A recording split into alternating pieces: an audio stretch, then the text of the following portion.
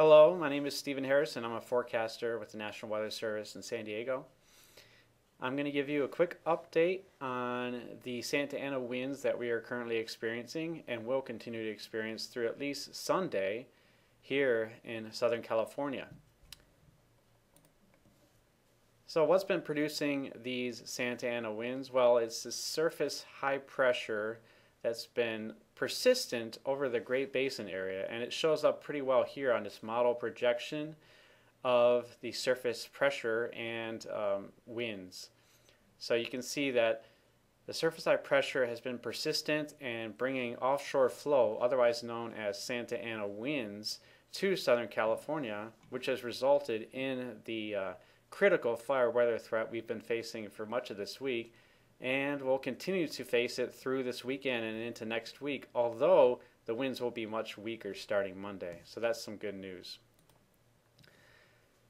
Now here's a look at the high resolution wind projection from our local WRF model.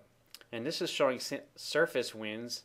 Uh, the arrows indicate which direction the winds are moving and the blue colors uh, indicate stronger winds. So this loop starts uh, late tonight, early Saturday morning, and continues all the way through Sunday.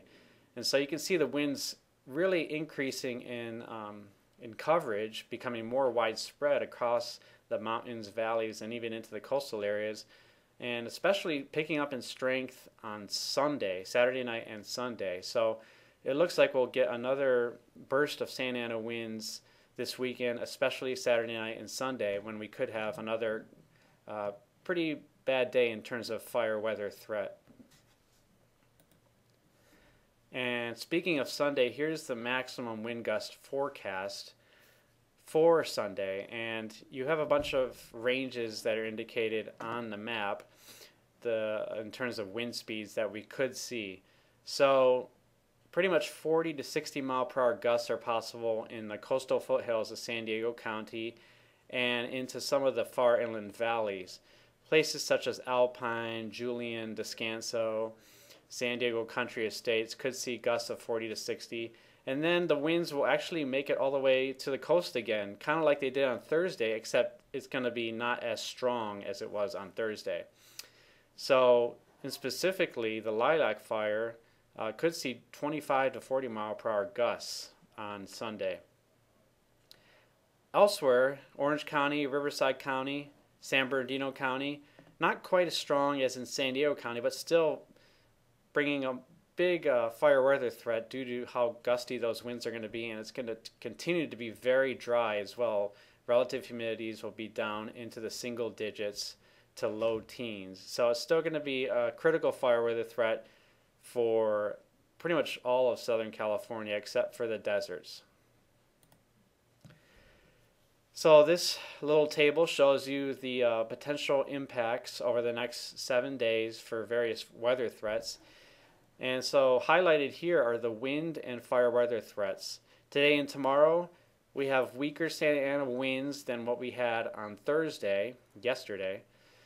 And then on Sunday, the fire weather threat picks up, and um, you can see the red category there and that's because the Santa Ana winds become a little stronger that day and more widespread. And we'll still have very low relative humidity, so fire, any fires that are active or start will be susceptible to growing extremely rapidly, especially Sunday. There's also um, a moderate wind threat on Sunday with that increase in the winds. Some areas in the coastal foothills uh, could see winds near 60 miles per hour. So that could uh, create hazardous conditions, driving conditions for high profile vehicles, and you might see some branches on the roadways and maybe uh, a little bit of blowing dust. Going into next week, Monday through Thursday, like I mentioned before, we'll still have some offshore flow or Santa Ana winds, but it looks like at this moment they'll be much weaker, so the fire weather threat will decrease down to about a, a minor minor fire weather threat at that time. That's it for this video weather briefing update. Please go to weather.gov slash San Diego to keep track of the latest forecasts and warnings. Thanks for watching.